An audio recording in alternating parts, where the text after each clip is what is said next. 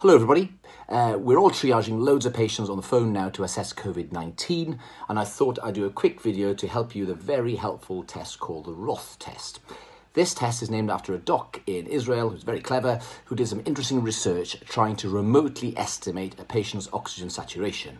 In essence, you ask them to count from 1 to 30 in their native language and measure two things what number they get to, and also how long it took them to get there uh, do it quickly but clearly and see if they can do it in their native tongue.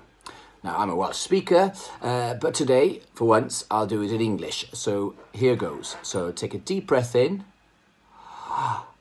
and go.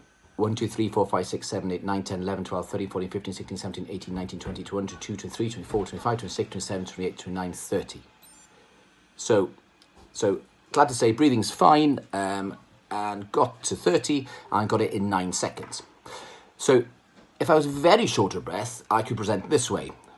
One, two, three, four, five, six, seven, eight, nine, ten.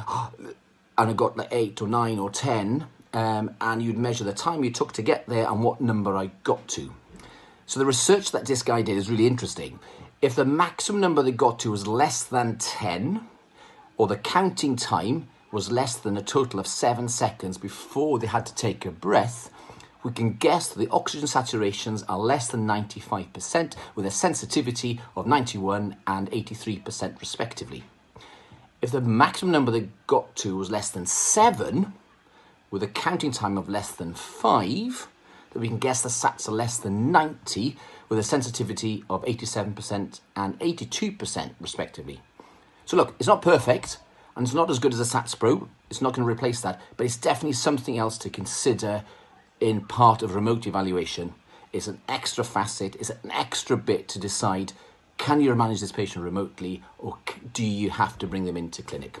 Anyway, good luck everyone and hope it's of help. Thank you.